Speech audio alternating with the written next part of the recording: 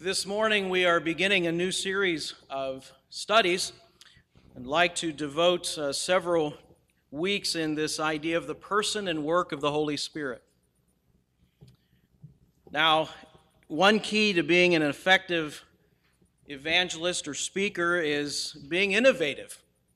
Uh, sometimes you need to be downright imaginative. And I think the Apostle Paul certainly fit this description he would often use objects familiar to his audience in order to get across a spiritual truth, much like Jesus did with his parables. And we see an example of this in Acts chapter 17. Paul is in the city of Athens, and Athens was a, a university city. It was a city known for its philosophers and for its learning. But it was also a place of great idol worship. And we read earlier in this chapter that Paul was disturbed as he saw all of these idol temples, all of these altars that were uh, devoted to one god or goddess uh, or another. But when he had a chance to speak to the people, beginning in verse 22, Paul then stood up in the meeting of the Areopagus and said, Men of Athens, I see that in every way you are very religious. For as I walked around and looked carefully at your objects of worship, I even found an altar with this inscription to an unknown God. Now, what you worship is something unknown, I am going to proclaim to you. And of course, he went on to preach the gospel of Jesus. Now, we shake our heads and chuckle at the thought of worshiping an unknown God. I mean, how silly is that? But I wonder if many of us Bible believing Christians are not, in fact, doing much the same thing. Michael Green writes The Christian church has always had a good many professing members who know about as much of the Holy Spirit as the, in their experience as those disciples at Ephesus who were asked by Paul, Did you receive the Holy Spirit when you believed? And they said, No, we've not even heard there is a Holy Spirit. Many churchmen of all denominations have been in the same state. They've heard in a vague way about the Holy Spirit, but have either put it all down to typical church talk or assumed that it was not intended for ordinary folks like themselves. For all practical purposes, the Holy Spirit could be discounted. I would suggest to you that the Holy Spirit is the unknown God to many Christians.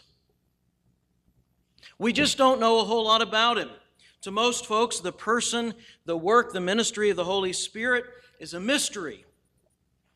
He's not only invisible, but also confusing. Maybe even a little bit eerie. I mean, those of us who grew up uh, under the King James Version referred to him as the Holy Ghost, right? A little spooky, maybe. Sometimes he's referred to as it. And it's not an it, it's a he. He's a person. And he is very much a part of the Godhead. Now, why? Why is this the case? Well, I believe this distant stance many have taken regarding the Holy Spirit is the result of an overreaction. Uh, I mentioned a few weeks ago about the pendulum. You know how pendulums swing back and forth? And I mentioned that we tend to do that as a culture. We also tend to do that as a church. And this pendulum swings. Some will only focus on the Holy Spirit as though he was the only member of the Godhead, or certainly the most important. And then in reaction to that, some go all the way to the other extreme, almost to ignore him altogether. I think both extremes are wrong. The Holy Spirit is one member of the Godhead, meaning he is fully God. He has a distinct personality and he has a function. And he is at work in our world. And yet, some of our churches try to ignore the Holy Spirit because of the extremes some have taken I have even known of pastors and churches that will not sing hymns in the hymnal that are addressed to the Holy Spirit. I've had one pastor tell me the Holy Spirit should not be worshiped. I said, Really? Isn't he God? As God, He is meant to be worshiped. So I want to avoid either extreme. I don't want to overemphasize the person and work of the Holy Spirit, but I don't want to ignore Him either.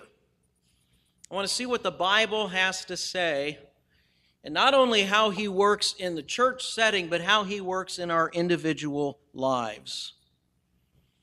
Uh, some are scared when the whole idea of, of Pentecostal or charismatic Christians come up. I, I had an elder in one church, not this one, said if someone started speaking in tongues, I'd pick them up and throw them out the door. And he was big enough to do it. I don't think we need to go to that reaction. We don't have to go to that extreme. But then you have people on the other side that say if you haven't spoken in tongues, you don't have the Holy Spirit. Well, folks, if you don't have the Holy Spirit, you're not saved. And you are hard pressed. In fact, I would defy anybody to prove to me from Scripture where you have to speak in tongues in order to have the Holy Spirit or to be saved. It's not there. So you have these two extremes that we need to avoid to have a balanced biblical view of who the Holy Spirit is. Chuck Swindoll writes in his book, Flying Closer to the Flame During my growing up years, including my years in seminary, I kept a safe distance. I was taught to be careful, to study the Holy Spirit from a doctrinal distance, but not to enter into any of the realms of his supernatural workings or to tolerate the possibility of such.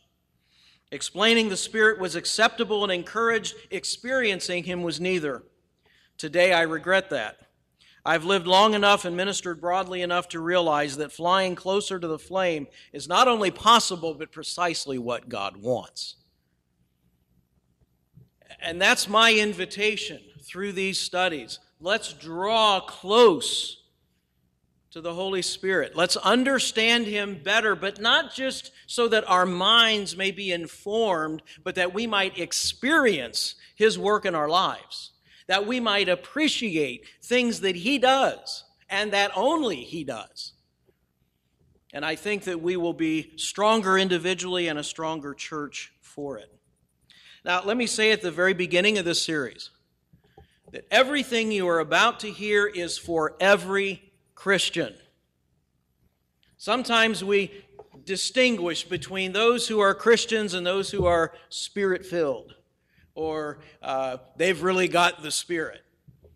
The Holy Spirit lives in the heart of every believer from the moment of salvation. You don't need a secondary experience. You don't need to ask Him to come in if you've already accepted Christ. He's there. We don't need to ask for the Holy Spirit to be in our presence when we gather to worship.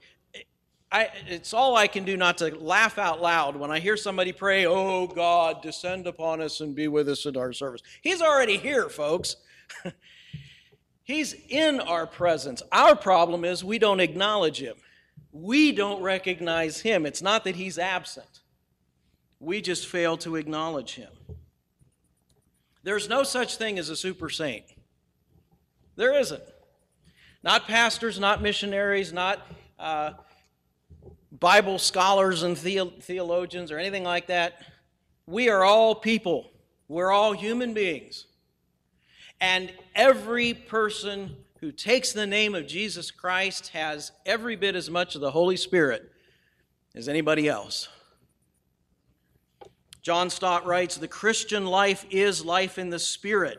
It would be impossible to be a Christian, let alone to live and to grow as a Christian, without the ministry of the gracious Spirit of God. All we have and are as Christians, we owe to Him. And we're going to see how He works in our lives and how He wants to work in our lives. I think the problem is not much, so much how much of the Holy Spirit do I have, it's how much of me does He have. And as we come to acknowledge His presence and, and allow Him to control us, we're going to see changes in our lives. And this idea of the Holy Spirit is not an elective course in the Christian life. This is a required, required reading and required experience. We need to know the truth. We need to break through the apprehension and suspicion that maybe we have uh, built around Him. We need to get back to what the Bible has to say. And we need to go beyond the theory, we need to go beyond the theology. Our focus must be on practical living.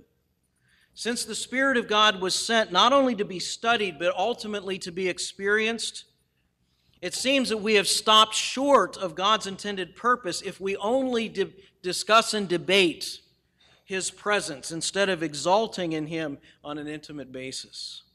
So I want to begin to examine, but also experience, the person and the work of the Holy Spirit.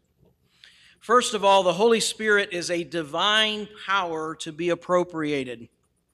Throughout the Old and New Testaments, the words spirit and power often go together. We're going to look into this much more in detail next Sunday.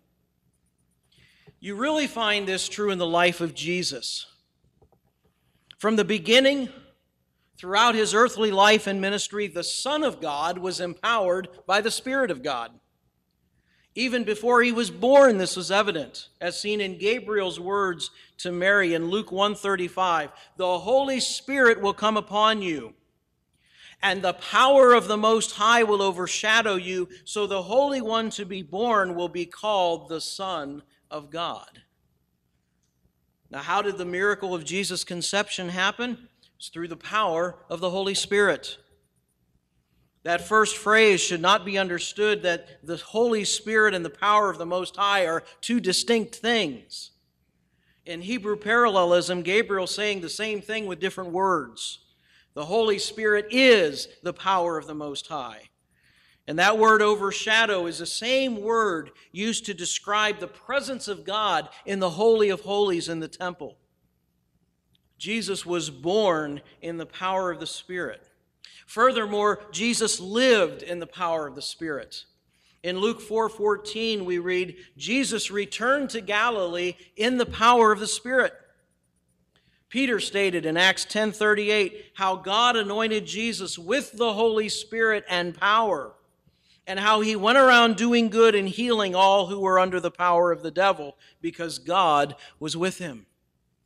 So Jesus lived day to day in the power of the Holy Spirit.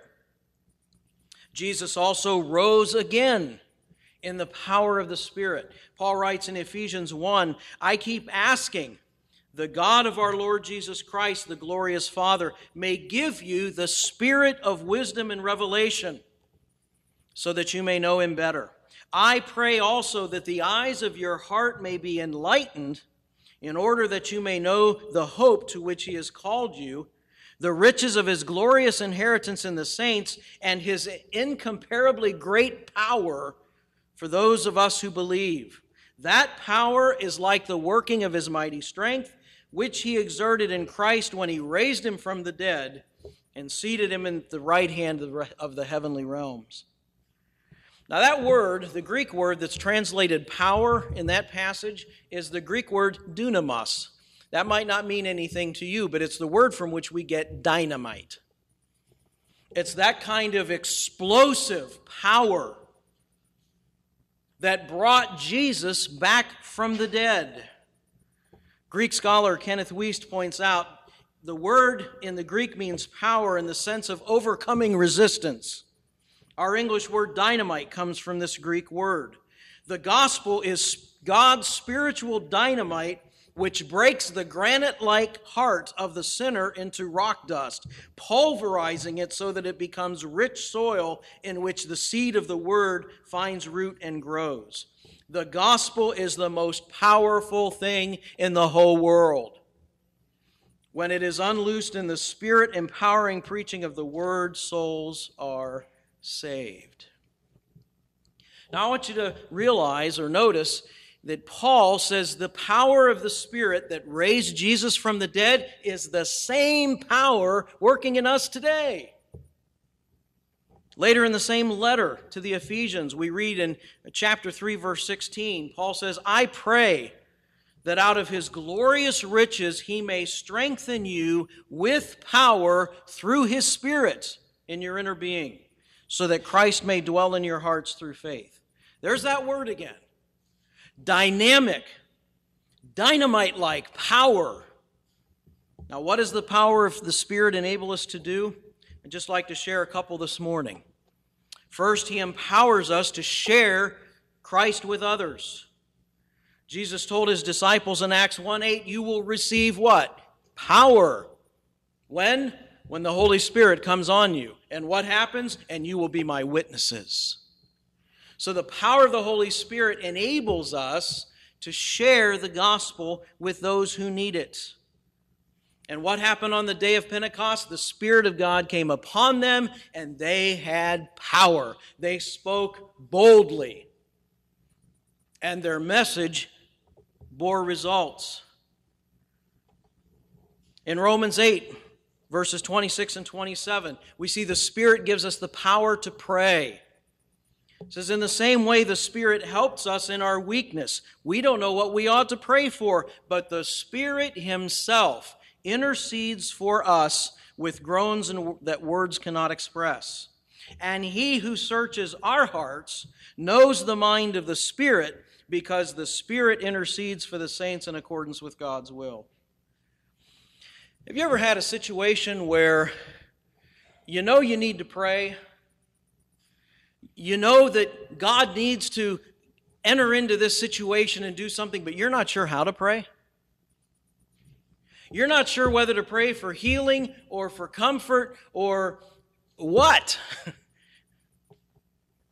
this tells us that the Holy Spirit, who understands the will of God, will pray on our behalf. In essence, He prays through us so that when we say, Lord, I don't know what the right thing is here, but your will be done, the Spirit of God takes that prayer and puts it in the right words. he intercedes on our behalf, He gives us the power to pray. And then the Spirit gives us power over Satan. Uh, verse I learned as a child and has always meant a lot to me is 1 John 4 4. Greater is he that is in you than he that is in the world. Well, who is the one in you? It's the Holy Spirit. The Spirit of God is greater than he that is in the world. We have power over the devil because of the Spirit of God. And what was true back in the New Testament times is still true today. Nothing has changed. It is the same God, it is the same Holy Spirit, the same power that flowed through their lives that's flowing through us today. We just need to acknowledge it, we need to appropriate it, we need to activate it in our lives. But there's more. Not only is the Holy Spirit a divine power to be appropriated, he is a divine person to be appreciated. British preacher R.A. Torrey wrote A frequent source of error and fanaticism about the work of the Holy Spirit is the attempt to understand and study his work without first of all coming to know him as a person. And it's here where some cults are guilty of doctrinal error. The Jehovah Witnesses believe the Holy Spirit is neither God nor a person, according to the Watchtower teaching. It is simply an impersonal active force that God uses in doing his will. So they deny that the Holy Spirit is even a person. Yet Jesus repeatedly refers to the Holy Spirit as He, a person of the Trinity, not an it. He is a person. Put that down in capital letters that the Holy Spirit is not only a being having another mode of existence, He Himself is a person with all the qualities and persona- the powers of personality. He's not just matter, He is substance. The Holy Spirit is often thought of as that wind that blows across the church. But if you think of the Holy Spirit only as a wind, a breath, you might think of Him as non personal a non individual. But the Holy Spirit has will, has intelligence, has emotions, has knowledge, has the ability to love and to see and to think and to hear and to speak, just like any person has. How do we know this? Well, look at the Word. In 1 Corinthians 2, verses 10 and 11, the New Living Translation puts it this way It was to us that God revealed these things by His Spirit. For His Spirit searches out everything and shows us God's deep secrets. No one can know a person's thoughts except that person's own spirit, and no one can know God's thoughts except God's own spirit. So you see, the Holy Spirit has a mind, He has an intellect.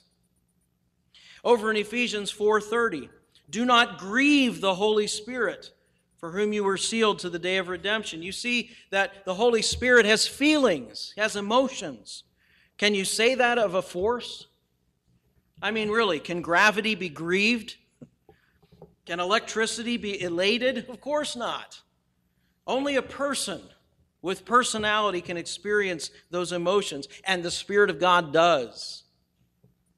We also read in 1 Corinthians 12 11, but one and the same Spirit works all these things, distributing to each one individually as He wills. Now we see that the Spirit of God has a will, He has a volition. All of these things speak to the fact that He is a person, not a force, not a thing, not an it. He is a person. Well, that's what He is. Now, who is He? The church throughout history has declared the Holy Spirit is God. All the way back in the Nicene Creed, I believe in the Holy Ghost, the Lord and giver of life, which proceedeth from the Father and the Son, and with the Father and the Son together is worshiped and glorified. Holy Spirit is totally 100% divine. He is God. And He is to be worshiped, He is to be glorified. We cannot ignore Him and is of the highest importance from the standpoint of worship that we decide the Holy Spirit is a divine person, worthy to receive our adoration, our faith, our love, our entire surrender to Himself.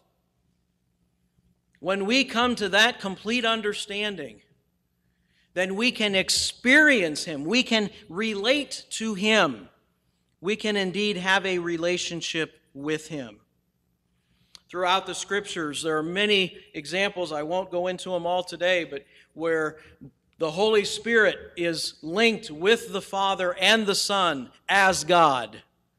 Maybe the greatest example of that is in the Great Commission, where Jesus told his disciples to baptize in the name, singular, of the Father, the Son, and the Holy Spirit. In those days, you were baptized in the name of your God. And he did not just say the Father, he did not just say himself as the Son, he included the Holy Spirit. So the Holy Spirit indeed is God. Now, as I bring this message to a close, I want to move beyond just the facts, you might say, and into living. We have considered the question who is the Holy Spirit? We've seen that he's a divine power to be appropriated, he's a divine person to be appreciated. But as I conclude, I want to ask one more question Who is the Holy Spirit to you? We've seen who he is in general, but who is he to you? I'm not asking for your doctrinal belief on the third person of the Trinity. I'm asking who is the Holy Spirit in your life? We may know about some famous or historical person, but that doesn't know we know him or her. I'm afraid Tozer is accurate when he writes about the doctrine of the Spirit. Evangelical Christianity believes it, but nobody experiences it. It lies under the snow, forgotten. I pray that God may be able to melt away the ice from this blessed truth. Let it spring to life again, that the church and the people who hear may get some good out of it and not merely say, I believe, while it is buried under the snow of inactivity and non attention. To remain a distance from the Holy Spirit is not only, it's worse than wrong, it's downright tragic. Let's go beyond the theory. Let's, if I may say, go beyond just the truth written on a page, but the truth that affects our lives. In the words of the hymn, beyond the sacred page I seek thee, Lord. And that's the attitude I hope we can adopt as we enter into this study on the person and the work of the Holy Spirit. Yes, I hope you learn more, but I hope beyond that that you live more in the Spirit. As we draw our service to a close, if you would take your hymnal, turn to hymn number 391. Hymn number 391. I surrender all. This is where it begins. We can know all of the facts, but if it's not real in our lives, it's not going to make any difference at all. We're just going to sing the third verse. All to Jesus I surrender. Make me Savior, wholly thine. Let me feel the Holy Spirit.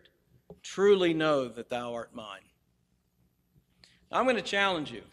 Don't sing this if you don't mean it. If you're not prepared to surrender your life to the work and the power of the Holy Spirit, don't sing it. But if you do, may this be our prayer of commitment this morning.